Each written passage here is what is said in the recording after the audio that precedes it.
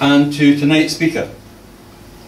I had the um, really enjoyable uh, opportunity to have dinner uh, with Terence prior to this uh, lecture. And I'm, I'm a little sorry to say that uh, I finished my dinner before he finished his, because I was asking questions and he was telling me uh, in fulsome detail about how he came to be in the position he is tonight, giving this lecture on this topic. And it was fascinating. I might find people interesting anyway, but I found his, his experiences out of this world. And hence, I can give a personal recommendation because he said a lot of what he was telling me over the restaurant table he will be covering in his talk. So I don't want to stand between you and your speaker anymore. Except to say one thing this is your first visit to the SSPR, mm -hmm. and it's your first visit to Glasgow. My, the first visit for many, many years. Okay he'll maybe have forgotten what Glasgow Welcome can be like. Because down in the SSPR, it's all this kind of stuff. Let him know we appreciate the fact he's come from deep south.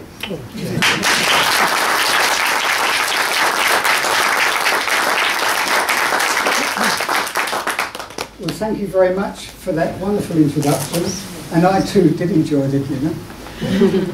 um, and I'd like to thank the SSPR for inviting me up here to speak with you.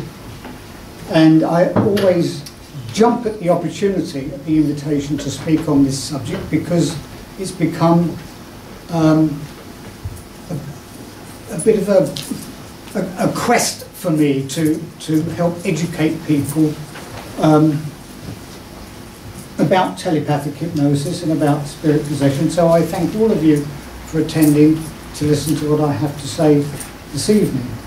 Now, I am actually a spirit release practitioner.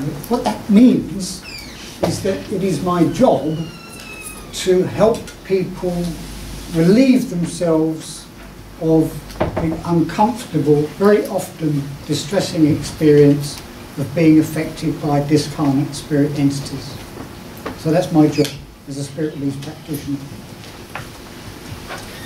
It is my quest, even, I'm retired now, so I don't get much opportunity to work. I have to, I'm full-time carer for my mm. aged mother who has Alzheimer's, so I can't get out of the house very often. but when I do, I try to put myself in positions where I can educate primarily the psychiatric profession. Because a lot of um, what are considered to be mental illnesses are the result of spirit interference. So I'm looking for uh, a medical establishment, a psychiatric institution, and this is why I'm recording this because I'm going to send a copy of this to all of you, um, inviting them to investigate this phenomenon more seriously than they do, because they tend to reject it and not consider the hypothesis that spirits do influence people. Now, I'm going to, I'm going to, so that's my objective, to find just one institution in, in the UK that will take this seriously and, um, and investigate it and test it. Now, I'm going to begin my presentation by making a statement that, that challenges our most commonly held beliefs.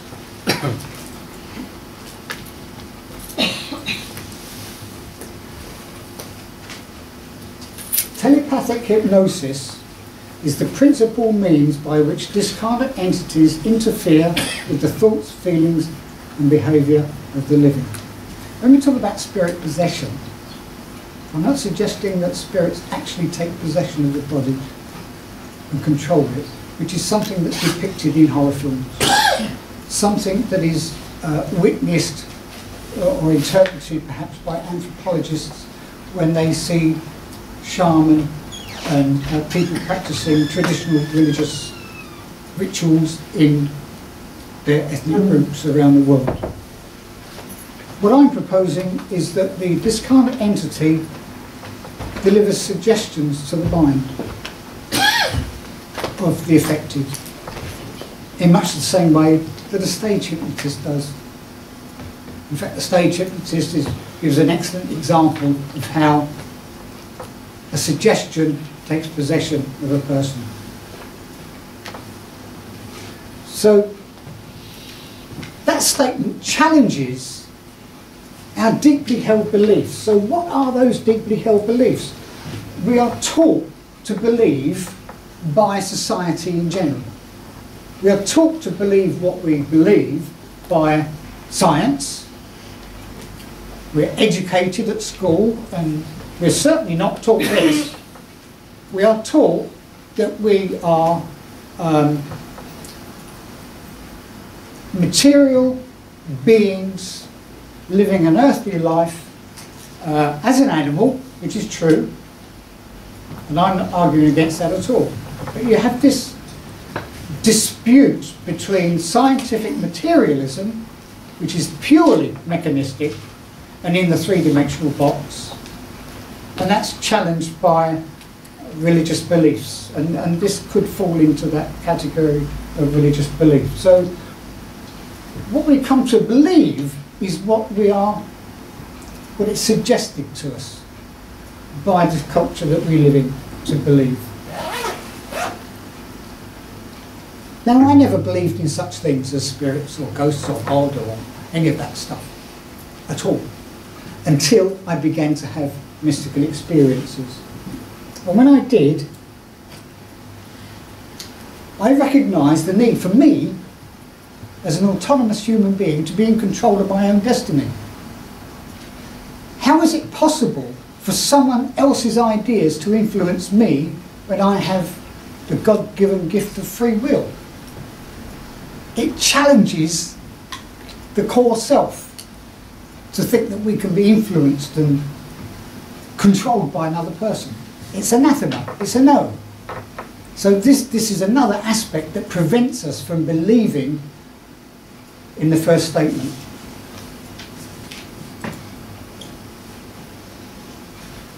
But then we come to the personal experience.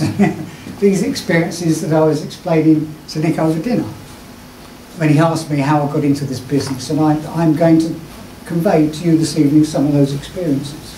So I've learned not through being taught, I've learned not through studying psychology at university, I've learned through the practical experience and engaging one to one with spirit entities in dialogue.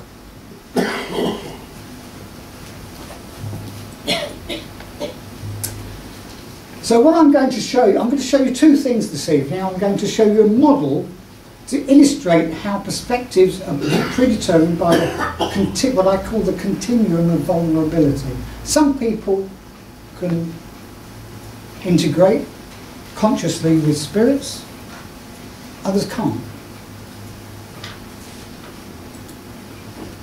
And the other thing I want to talk about, the second part of the lecture, is the importance of telepathic hypnosis and why it's been abandoned by psychology research. And then towards the end, if we have time, we'll have a look at a case study and some research proposals, okay? Now, I'm going to give you some case histories I was working as a, a hypnotherapist, just an ordinary run-of-the-mill, psychologically trained hypnotherapist for a, a doctor, for a GP. And he would send me his chronic cases. And I was dealing with cases primarily with diseases of the nervous system like epilepsy, Parkinson's, dystonia, where using self-hypnosis the patient can actually take control of these involuntary movements. It's quite useful tool to, to have. But then I began to encounter cases of an emotional nature that challenged everything I'd been taught about hypnosis and psychology.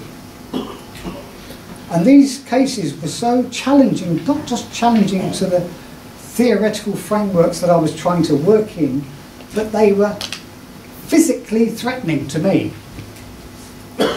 when patients wanted to kill me. Now I didn't know how to deal with this, and nobody around me knew how to deal with it. So I had to stop working and go away and do some serious research. And it was in a bookshop. and the sales assistant said to me, I think you can help me. And I said, what makes you think that? She said, I've noticed the books you've been reading. And I said, well, what's the problem? She said, I have a compelling anger that I can't explain. So she invited me to her house, and one minute I'm sat there talking to an intelligent, educated, peaceful woman, and the next minute someone is talking to me through her saying, I'm going to kill you and all the other white men. And now things get really interesting. This reminded me of cases earlier that I did not know how to deal with, and here's another one. And my question was spontaneous. I said, Well, who are you? Because I knew it wasn't the woman that was sat in front of me. And when I said, Who are you? the voice went ballistic. How dare you question me? Who are you to ask me who I am? This was a powerful person whose authority was never, had never been questioned. How dare you ask me who I am? said the voice. I didn't know how to deal with this, so I had to gracefully find a way to end the session and withdraw. But I was being told that I had to find a resolution to this problem. So those of you who are spiritualists will understand what I mean when I say I was guided. And I was guided to a man, a psychiatrist called Dr. Alan Sanderson. Some of you may know him. He's been up here and spoken to you. This was 14 years ago. I met Alan Sanderson, and he now is a close friend and colleague, and we work very closely together. And he explained one or two things to me. He said, you need to learn how to deal with this. Now, at the time, there was, uh, there was a couple in Kent who uh, were teaching this. They'd been to America, they'd been trained by a pioneer called uh, Dr. Irene Hickman, and, they and she set up the Hickman Academy, and they were teaching her methods in England. And I went along there, and the way it worked was that they, they taught us the techniques of how to engage with these entities. And having taught us, then they asked us to put it into practice. And the way it worked was that you, you put the name of someone on a piece of paper into the hat. And, and the names were taken out at random. And whoever's name you pulled out of the hat, that was the person that you would try to help. Using telepathic hypnosis, using clairvoyance, using telepathy. So the person wasn't actually there, they were somewhere else. And quite by chance, and some would argue that it was a, a fortunate coincidence, but it's not a coincidence, this is synchronicity. This was meant to happen. The name I pulled out of the hat was the name of the, the woman in the bookshop. and these very, very expert teachers took me through the process of engaging with the medicine chief who was possessing the woman in the bookshop, wanted to kill all the white men. And I became at one with him and went with him to the light where I saw with my own clear vision all those souls who perished in the North American Indian Wars. And I understood. And that was the beginning of my training. When the training was finished,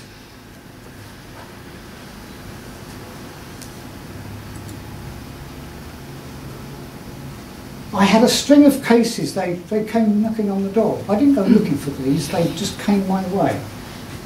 And I'm just going to very, very briefly give you uh, a, few examples that I dealt with having been trained. The schoolgirl who couldn't walk, this was a young, a teenage girl who progressively lost the use of her legs until she had to be taken to school in a wheelchair. And there was no medical explanation, there was nothing physically wrong with her. But she was referred to me, and I went to the house and I saw her crawling from room to room on her elbows, dragging her legs behind her. And on investigation, and when I say investigation, I engaged the young girl and managed to get her into an altered state of consciousness where she could, and the technique is very simple really. You just say to the higher self, to the subliminal mind, as, as Frederic Myers would say, to the unconscious, there's a part of you that knows what's causing this problem. I want to speak to that part. Take me there, one, two, three, when you're there. Tell me what's happening. She was in the back garden of her friend playing. She was a young child, six, seven, eight years old. And the uncle of her friend tried to molest her. And here we have an example that illustrates what I describe. I've written a book about this. It's called The Science of Spirit Possession. Coming out in its second edition in about six months' time.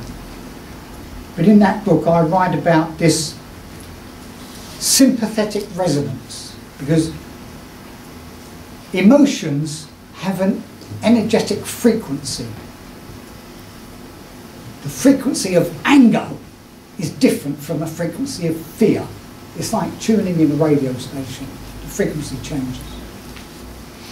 And there are discarnate entities that are attracted to different energy frequencies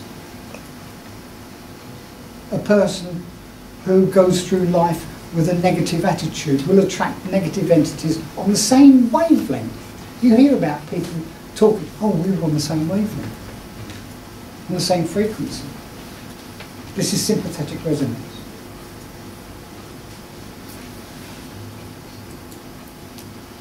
So the entity was got rid of and she could go back to school, she could walk again. The school teacher with an impulse to electric, electrocute herself.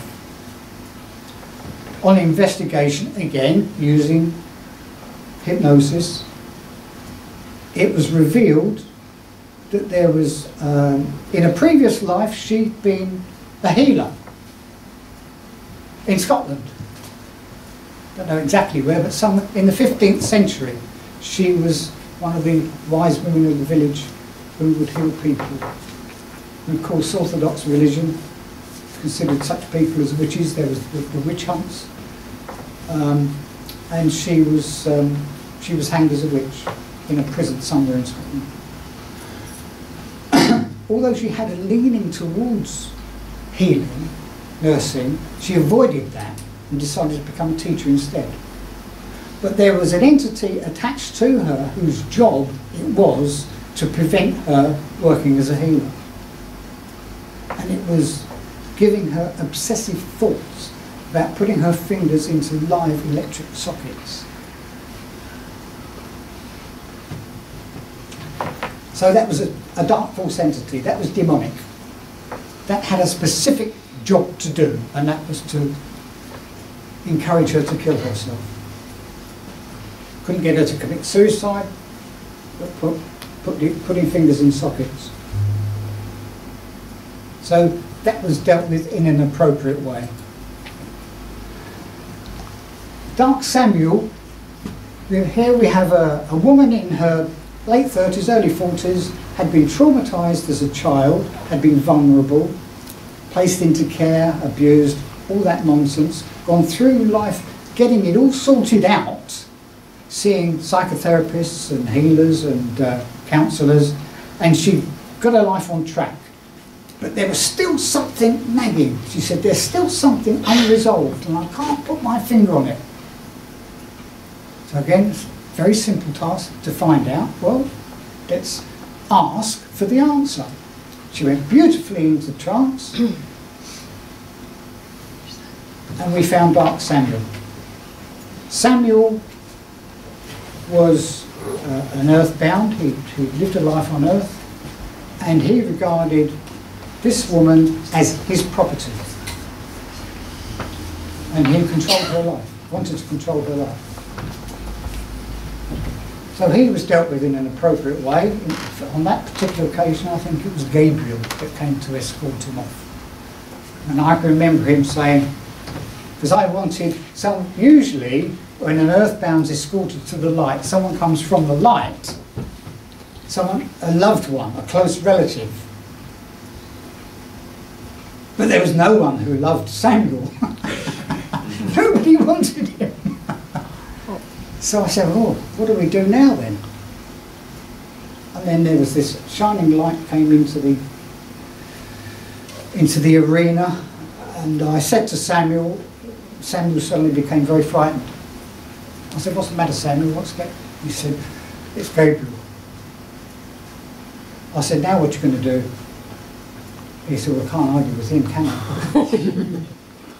so off he went.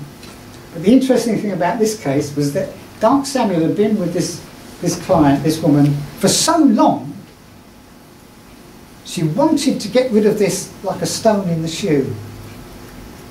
But once he'd gone, she'd been, he'd been with her so long, she was in the kitchen making a cup of tea and she said, can you do me a favour? I said, what's that? She said, can you bring it back? I said, you've got your freedom. Learn to, you know, use it. But so that is how this kind of entity can affect a person. That they actually lose their free will and get used to having not having it. It's a dangerous business.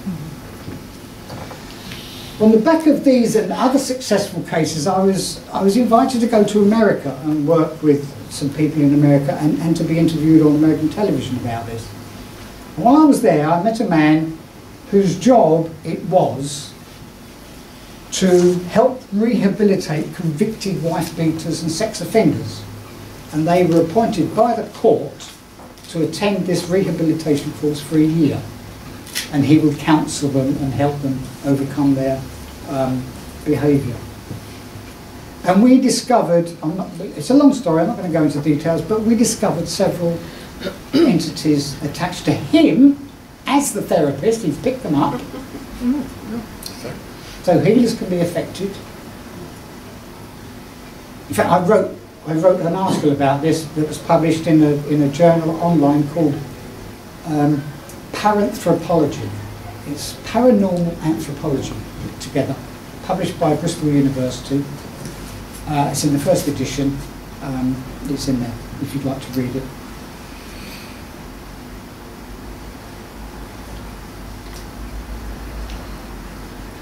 So we did some work on these um, convicted wife beaters, and the facilitator went to his employers and said, look, look what we've discovered. We've got to do something with this. And they said, it certainly looks interesting. And we said to them, um, can we conduct a proper controlled trial and document this? And they said, yes, providing it's monitored and managed by an established accredited scientific institution. I said, great, terrific. That was in 2004. It's now 2013, and I'm still looking for an institution to take it seriously. So that's why I'm talking to you and other audiences who would listen. So I'm looking for a mechanism as to how this works. And I discovered Frederic Myers, who said that.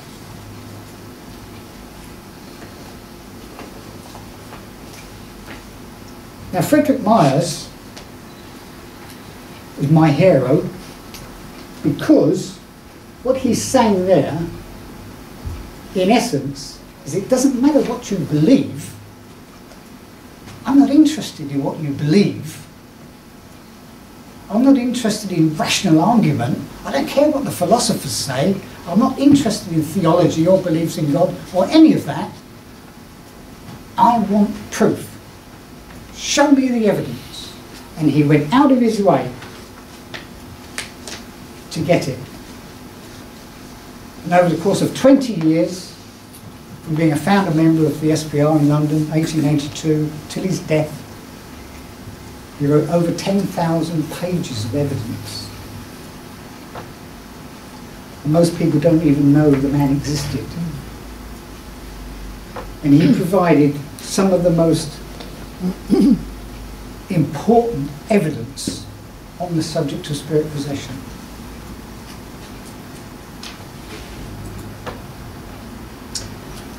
So this is the first important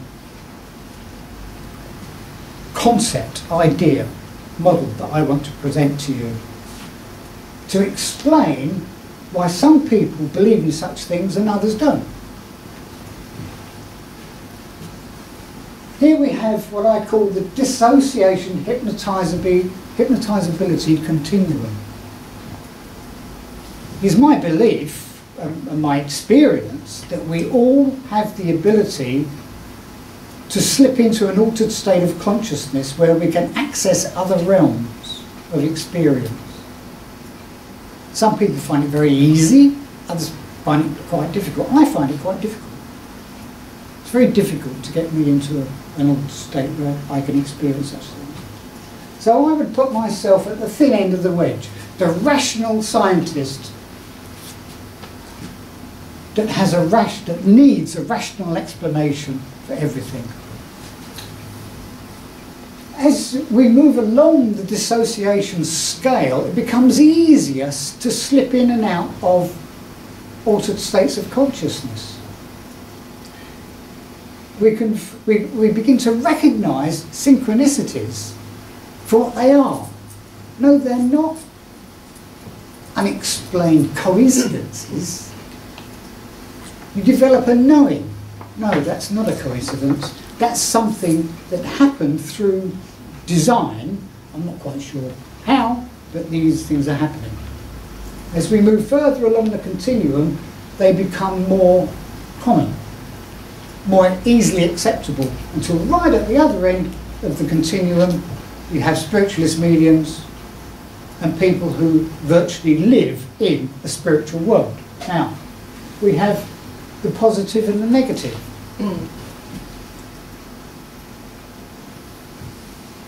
The dissociation hypnotizability continuum has several dimensions to it. And there's a lot of research being done in psychology on susceptibility to somnambulism, altered states.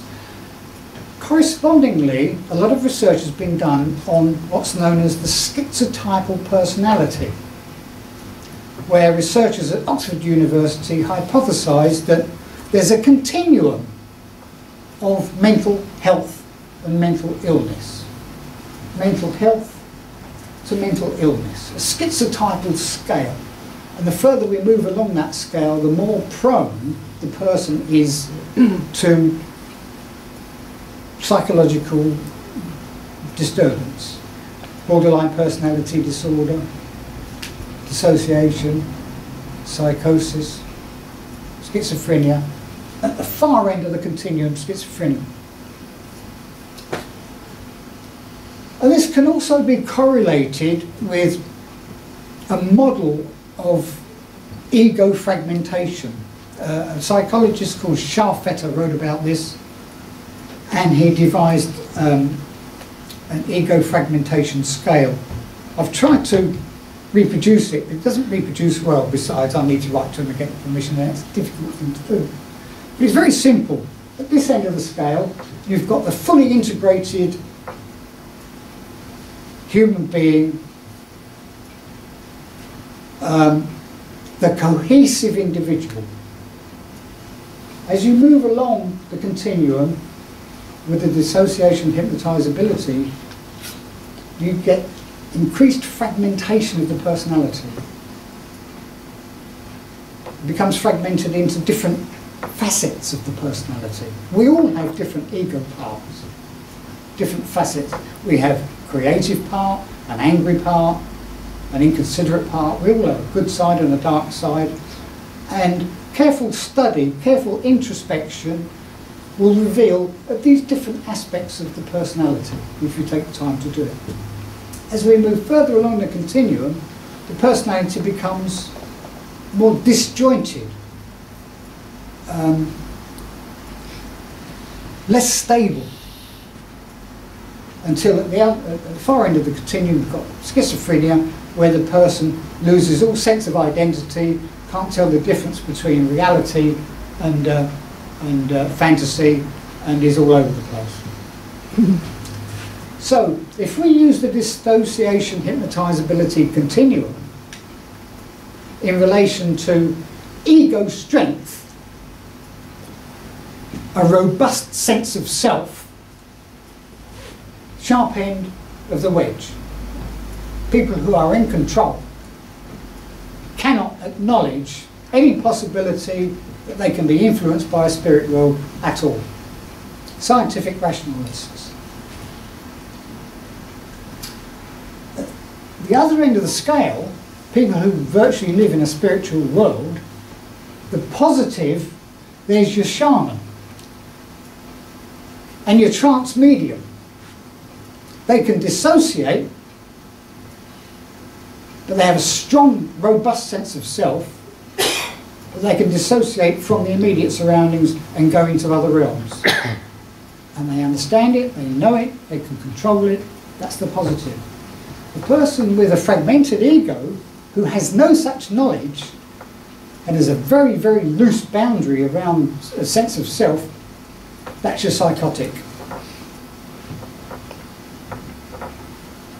The further you move along the dissociation continuum, the more you are vulnerable to spirit influence. So the person who has knowledge and a strong sense of self becomes a medium. Person who has no knowledge is vulnerable and has a fragmented ego becomes psycho psychotic and even more dangerous becomes possessed. So you can become possessed by benign spirit, as the trance medium does, by, by guides and such like. The person who has no knowledge, who has weakness, becomes possessed by the demonic. It's a very simple model, and for me, explains an awful lot. And there's a lot of research to back that up that I could cite for you.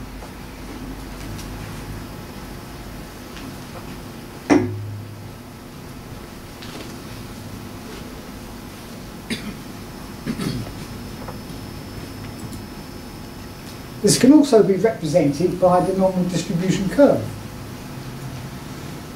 Any of you who are familiar with scientific investigations and statistical analysis, uh, and the relationship between what is normal and what is not, will be familiar with that.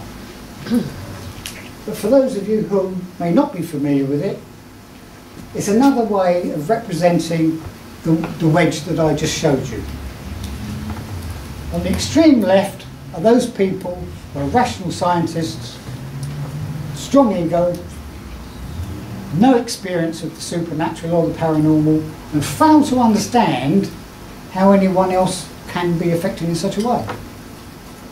At the other end of the scale, you've got those people who live in the spiritual world. The vast majority of the population are that big hump in the middle, who have some experiences, that remain unexplained. Some people report their experiences to the SPR, SSPR. Most people don't. I've had lots and lots of experiences that I've never reported.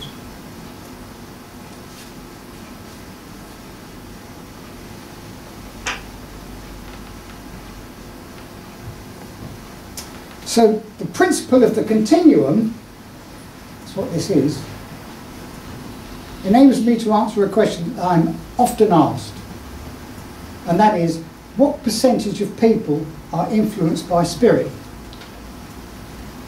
Well, my answer to the question is 100%. We all are, but the people at this end of the continuum don't recognise it or reject it, reject the idea. Creative inspiration, where does that come from?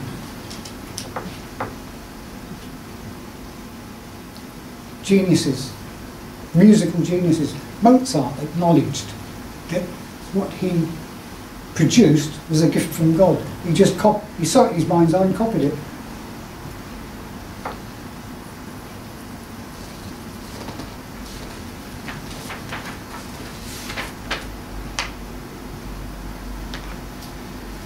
Now the French psychiatrist Pierre Janet, who works at the Salpêtrière Mental Hospital in Paris, in the mid 1800s, focused on the negative. The earlier slide I showed you, the negative side. He was dealing with psychosis and hysteria. And he asserted that all those who experience dissociation and psychic phenomena are mentally ill. And that's still the view that's taken by psychiatrists today. Frederic Myers did not discount the positive and arrived at his tertium quid approach and the continuum of human experience. Tertium quid means, no, there's another explanation. A third explanation. And he went out of his way to find it.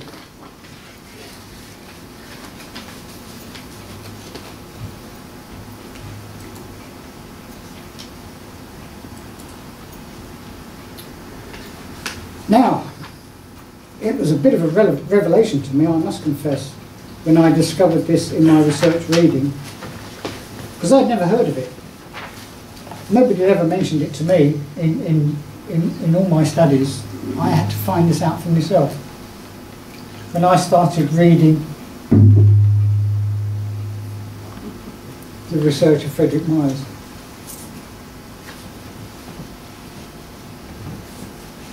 Pierre Janet was conducting experiments in Havre with a woman called Leonie. I'll come on to that in a moment. But when I started researching this, I discovered that documented evidence of telepathic hypnosis goes back to the Marquis de Puysegur, 1785, who was a disciple of Franz Mesmer. Now we've all heard of mesmerism, and it's a common misconception that mesmerism is a precursor to hypnosis. They're two totally different things. Mesmer proposed that a person went into a, trance state through this power, physical animal magnetism, he called it. He didn't know what it was, but he thought it was something physical. But the Marquis de Puysegur noticed when he was practicing animal magnetism that sometimes his patient would arrive at the door already in a trance state and he'd be nowhere near him. He discovered that just thinking about a patient was often sufficient for them to arrive for an appointment already entranced. And he writes, apart from this inconvenience of turning up for an appointment already entranced, there is another one very much to be feared. The risk that some extraneous factor will interfere with the effect produced at a distance if, for example, the effect one produces is somnambulism. One must know very well how susceptible this peaceful state is to being disturbed by the least extraneous circumstance which can then cause truly miserable confusion. You can only imagine it, can't you? if you're walking about in sleep, if you're sleepwalking, which is what it is, basically.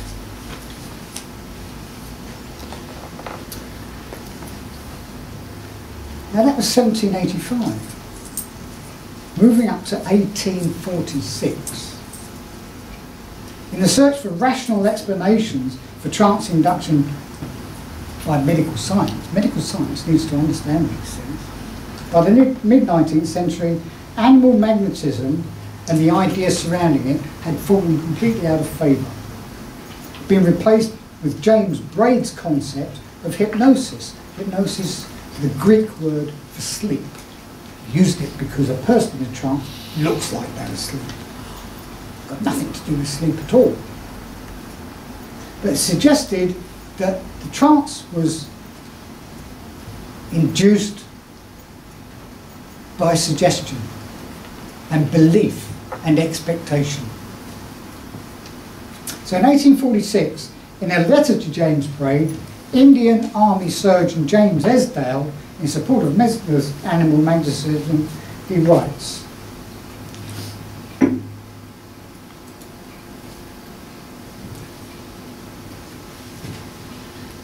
These are really to remind me where I am. I'm getting funny. During the last six years, I've performed upwards of 300 capital operations of every description using magnetism, and many of them of the most terrible nature without inflicting pain on the patients. He was doing this at the same time as Sir John Elliotson, who was chairman of the Royal Society of Medicine in London, was performing operations in London hospitals, the Middlesex Hospital, using magnetism to induce, trance in his patients while he performed all manner of surgery without pain. This is before the invention of anaesthetics. Goes on to say, I've also entranced a blind man and made him so sensitive that I could entrance him, however employed, eating his dinner, for example, by merely making him the object of my attention for 10 minutes. He would gradually cease to eat, remain stationary a few moments, and then plunge head foremost amongst his rice and curry. Boom. Just thinking about it, no voice and gesture. I frequently desired the visitors of my hospitals to pretend to take the portraits of patients and to engage their attention as much as possible by conversing with them. Then I retired to another room and reduced them to statues without the possibility of their even suspecting my intentions. He goes on to say, how such phenomena can be accounted for without presuming the existence of a physical power transmitted from the operator to the